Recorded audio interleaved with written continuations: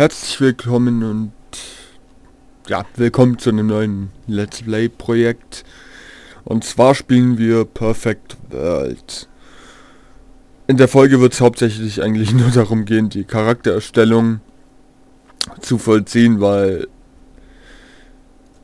wie ihr sehen könnt, hier gibt es einfach abartig viele Auswahlen und ich werde auch alles vorlesen. Ähm, auch wenn ich nicht so der Fan vom Vorlesen bin, aber werde ich machen. Ähm, ja, zum Spiel. Ich spiele das Spiel blind. Also ich habe es noch nie zuvor gespielt. Ich habe auch keine Ahnung, was auf uns zukommen wird. Die Grafik sah in einem Trailer eigentlich relativ gut aus. Deswegen habe ich mir gedacht, hey, zock es mal einfach an. Und ja, wie gesagt, dann fangen wir jetzt auch gleich an und labern nicht viel drumrum. Äh, ich werde beginnen mit den Menschen. Herkunft der Menschen. Die starken Seelen gelangen in die Welt der Feen, während die Schwach Schwächeren in der Welt der Sterblichen zurückblieben, wo sie hungerten und Tag und Nacht von Bestien angegriffen wurden. Allmählich entwickelten sie reale Körper, die ursprüngliche, die Ursprungsgestalt der Menschen. Dies ist die menschliche Rasse, wie wir sie heute kennen. Nach dem Blutsee-Desaster wurden nur die stärksten von den Göttern erwählt erwählt, um in der Perfect World zu leben. Cool. Und die können anscheinend nur zwei Klassen auswählen? Hä? Really? Champions und Zauberer oder Zau ja, Zauberer? Menschen sind extrem flexibel und können sich schnell neuen Umständen anpassen.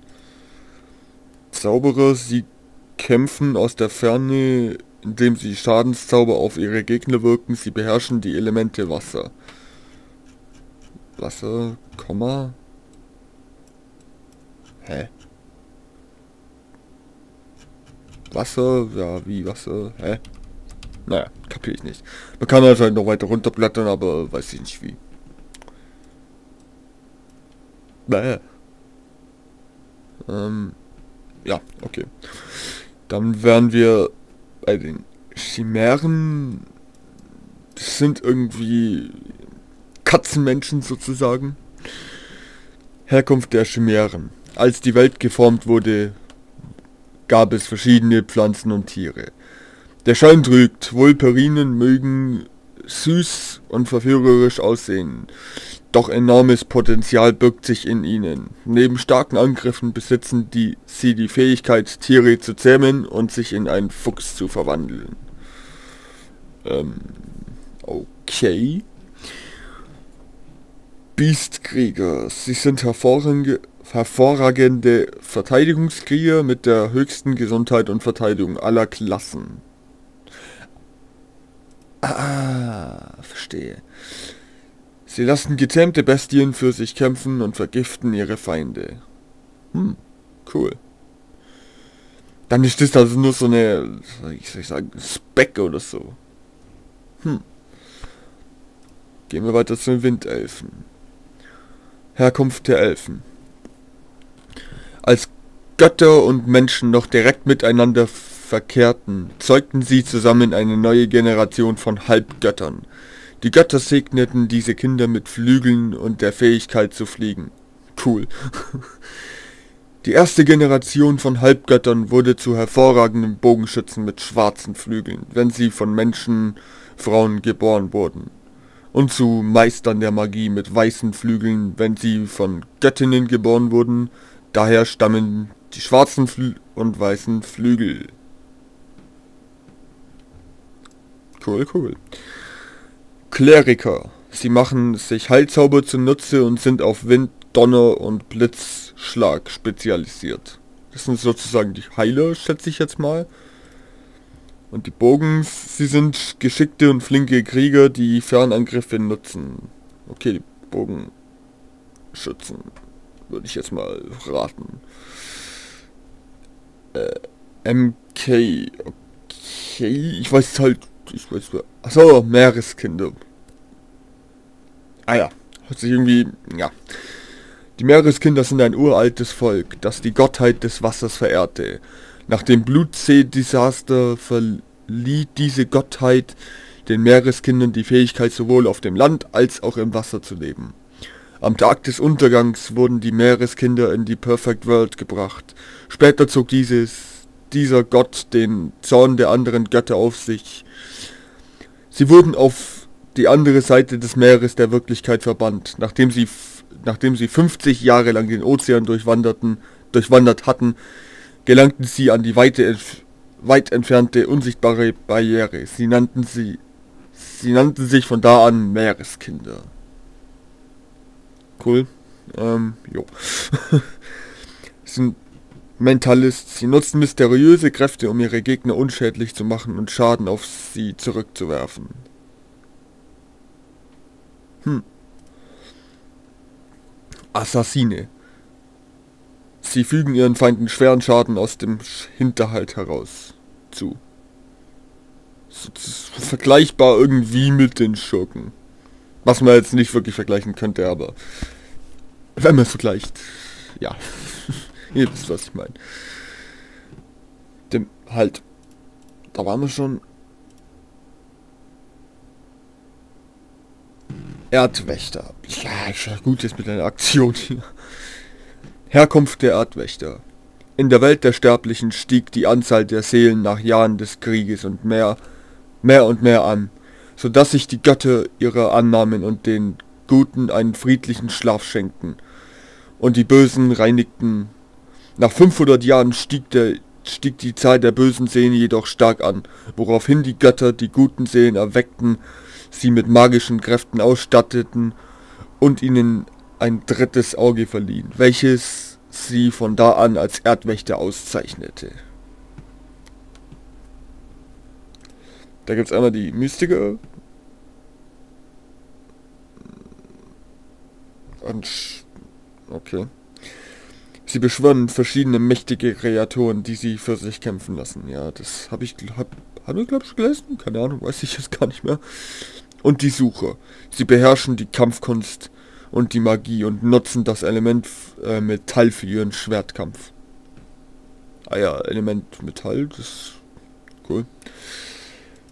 Und dann hätten wir hier noch die Nachtschatten. Nachtschattenursprung. Mit dem Schutz de des göttlichen Kindes haben die göttlichen Furien die Insel der himmlischen Krieger überlebt. Sie haben sich in der Nation von Garol niedergelassen und leben mit, dem Einhe mit den einheimischen Schnitter. Als Kangian das göttliche Kind der ersten Generation im Sterben lag, benannte er seinen Nachfolger Jademond, das nächste göttliche Kind. Zur selben Zeit gewährte er seinen Leuten die Kraft des Mondes. In Gedenken an Kangyan tragen seine Leute seither den Namen Nachtschatten. Ich weiß nicht, ob ich gut im Vorlesen bin. Äh, entschuldigt, wenn ich mich dämlich anhöre. Das ist... ja. Dämmerklingen. Flinke und berichtigte Kämpfer, die im Nacht Nahkampf mit ihren Säbeln leicht die Oberheit, Oberhand gewinnen. Oder Sturmrufer. Mit der Macht von Eis und Donner schwingen sie ihre Sensen, um alles Böse zu beseitigen. Hm.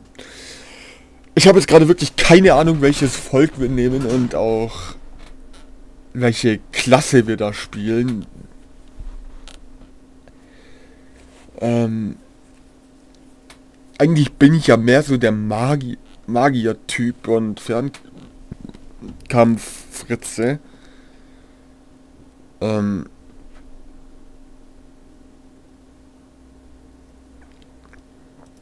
ja, wirklich keine Ahnung, was wir nehmen. Das ist wirklich...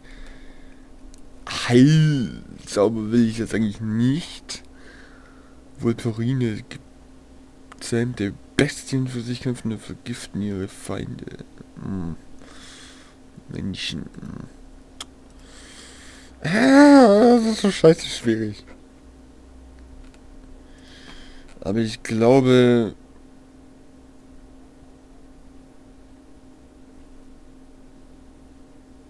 Wir nehmen jetzt einfach mal einen Mystiker.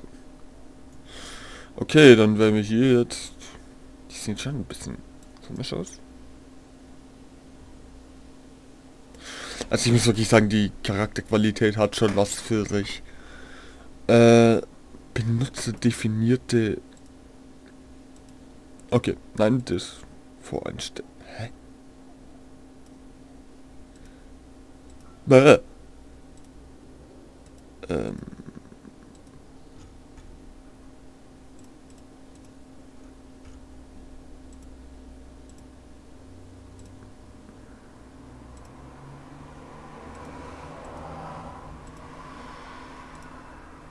Gesicht. Hm. Ah ja, Ges okay.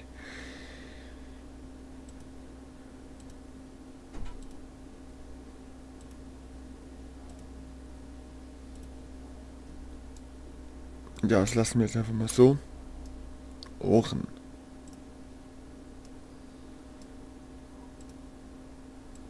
Äh, das war...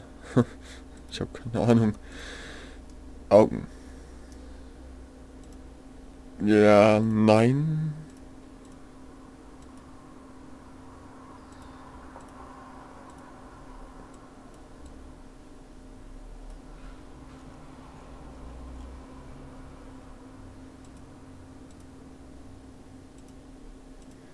Wir nehmen jetzt einfach mal die hier braun. Gibt es anscheinend nur eine. Satz. Okay, da habe ich keine Ahnung, was das ist. Äh.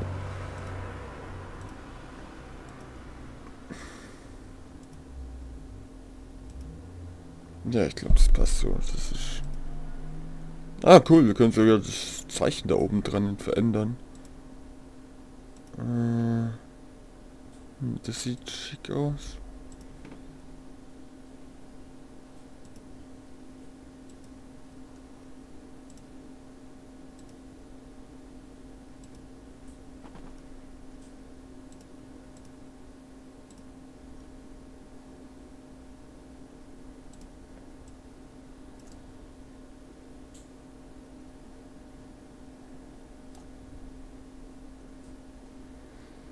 Ich glaube, wir nehmen das da.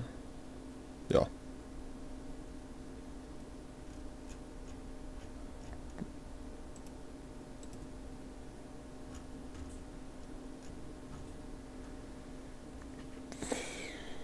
Ich habe natürlich jetzt vergessen, den männlichen zu nehmen.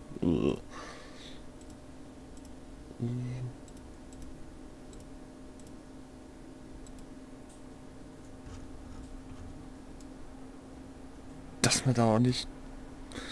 Ja, egal. Gesicht. Die sehen schon komisch aus. Also die Männer sehen wirklich komisch aus, sag ich jetzt mal. Ja, da die, die Ohren sieht man nicht. Das ist cool. Hm. Hm. Alter, das wird aber noch schlechter.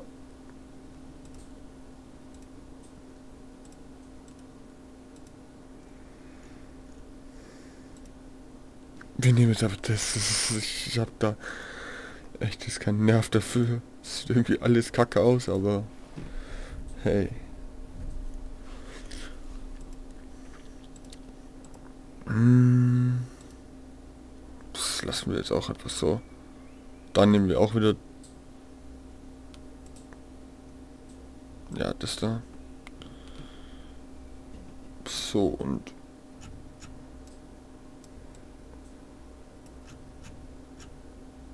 Ähm.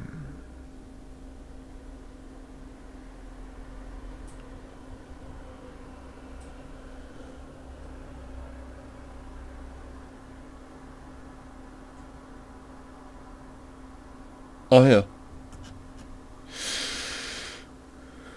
Klasse. Nein! Oh Gott! Ah! Ich hoffe es nicht. Na, natürlich.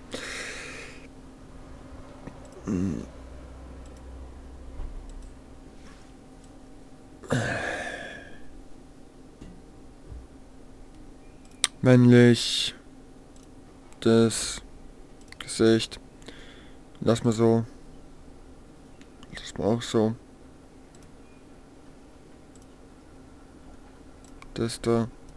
Mund und Nase. So, jetzt sind wir glaube ich wieder da, wo wir waren. Äh, da will ich...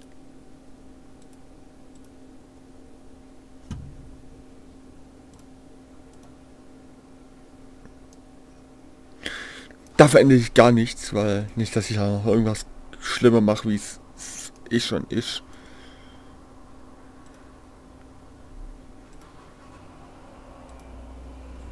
Hm.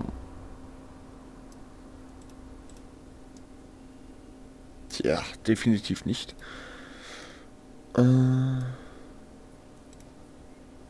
nee. Nein. Oh Gott, ey.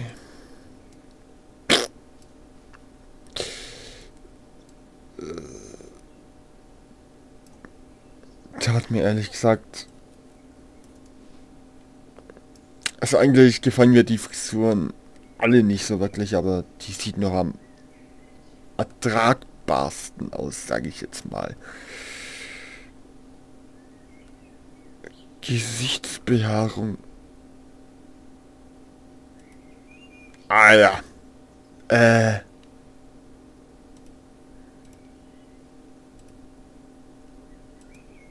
Äh. Nein. Gesichtsbehaarung nehmen wir keine, aber das sieht einfach nur selten dämlich aus. Textur.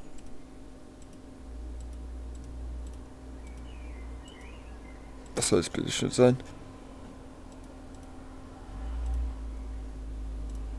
Okay, ich habe keine Ahnung, was das sein soll. Aber hey.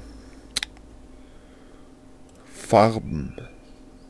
Ganze Farbe. Hä? Bäh! Nein, nein, nein, das lassen wir so. Genau, pinken. Äh, Lichtschatten? Bitte was? Haarfarbe.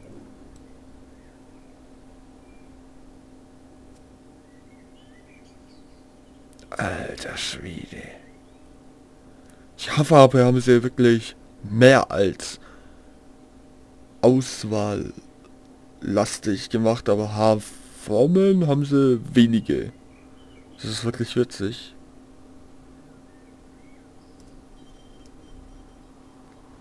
Ja, nehmen wir einfach das da jetzt. Ich hab...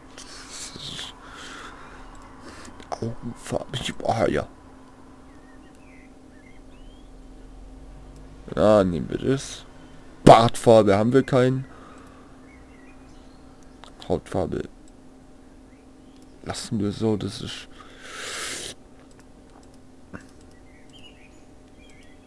Name Serp.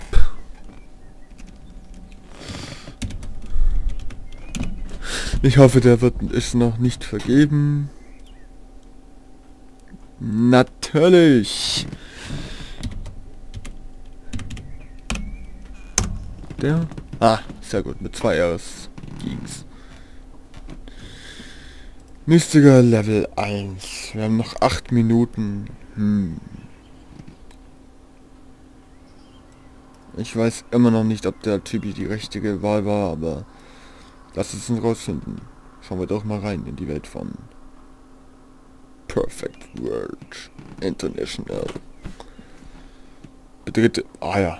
Anscheinend ist so viel auf den Servern los, dass wir in eine Warteschlange geschmissen wurden. Ähm, Krieger, wenn ihr das nächste Level der geistigen Bildung erlangen wollt, dann müsst ihr nach ihr nach Stadt Lorelei, klar. Und mit Mang Mang, dem Taoist, sprechen, sobald ihr ein geistlicher Adept geworden seid. Willkommen in Perfect World. Ich bin hier, um euch bei eurem ersten Schritten in Perfect World zu helfen. Klickt mit der Maus, um weit, äh, um fortzufahren. Machen wir einfach mal. Ja, das ist... Drückt die Tasten W, A, S und D, um euch zu bewegen oder klickt mit der Maus an den Punkt, in dem ihr euch hinbewegen wollt. Cool. Ähm. Hä? Hä? Okay. Ups. Jetzt habe ich es weggeklickt. Ah ja.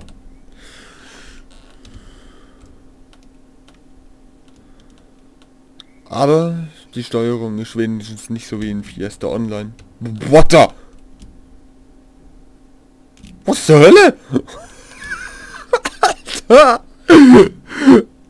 What the fuck? Was sind das für Sprünge, Alter?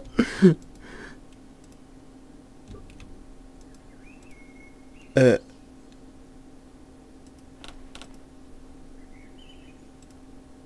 Ah, kacke, jetzt habe ich vergessen, das Wort zu lesen. Geht das nochmal? Die Klassen der Erdwächter sind der Suche und der Mystiker. Suche beherrschen die Kampfkunst und die Magie und nutzen das Element Metall für ihren Schwertkampf. Mystiker beschwören verschiedene mächtige Kreaturen, die sie für sich kämpfen lassen. Ähm, cool. Alter, zieht euch das mal rein, Mann. Die Sprünge, das ist doch nicht normal, Alter. Was haben wir? Was ist mit uns los dann? Das sind wir hier mega Beinkräftler oder wie? Wir haben gedopt. So sieht's aus. Jene im Einklang mit den Elementar Elementen der Natur werden Zugang zu ihren Mächten haben. Ähm Hä? Jetzt, Moment mal. Ah ja, ah ja, bleib stehen.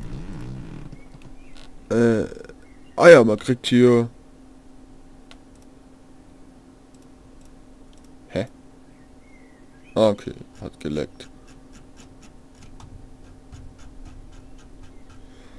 Cool, das, das finde ich nice. Also es gibt...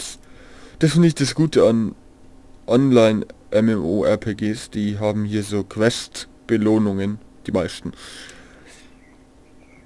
Also an Free-to-Play Dingsies. Alter, was sind das? äh, was ist das? Rotblütentau wird beim Tod nicht fallen gelassen, kann nicht abgelegt werden, kann nicht gehandelt werden, kann nicht im Auktionstresor abgelegt werden. Cool. In 3 Sekunden 450 Gesundheit. Mana. Okay. Okay. Okay. Ähm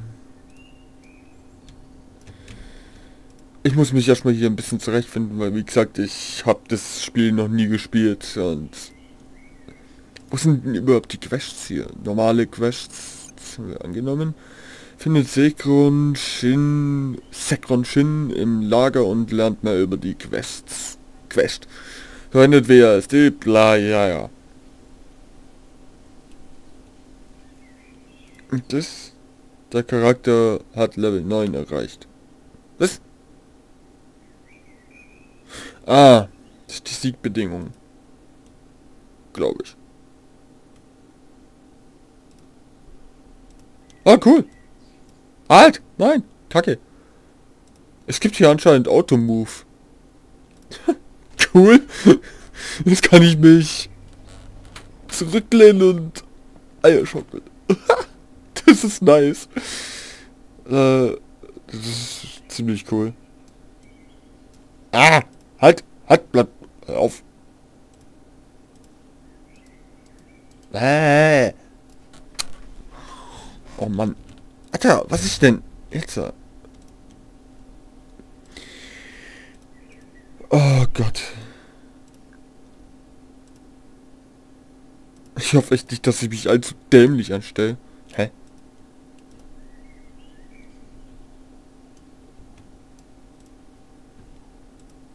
Auf dem... Äh... Maus. Spinn jetzt nicht rum.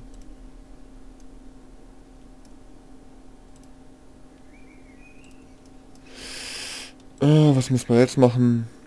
Auf den Weg. klickt auf die Quest und die bla. bla.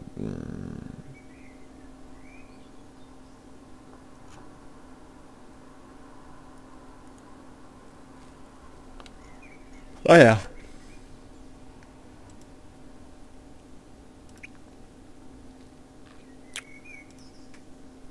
Gut, dann...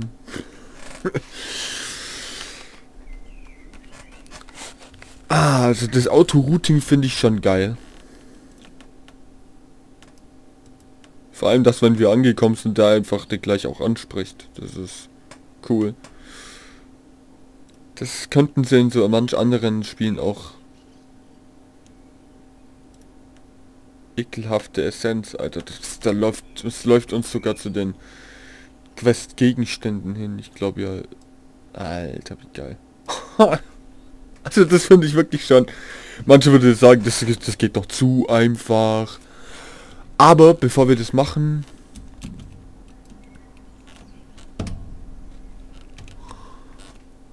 Die Zeit sagt nur noch eine Minute, leider.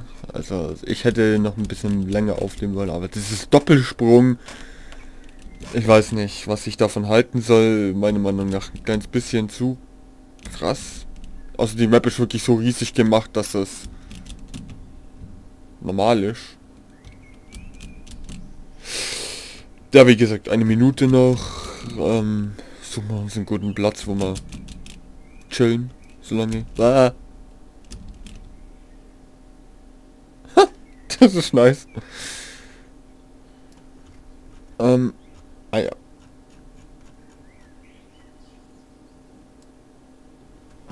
So, dann würde ich mal sagen, das war's mit diesem Let's Play. Denn, auch wenn das Let's Play grundsätzlich eigentlich nur für die Charaktererstellung draufgegangen ist. Aber wir sehen uns in der nächsten Folge wieder und ich hoffe, ihr werdet da auch wieder einschalten und ja, dem Geschehen hier zuschauen. Und ja, wie gesagt, dann sehen wir uns in der nächsten Folge wieder und bis dann.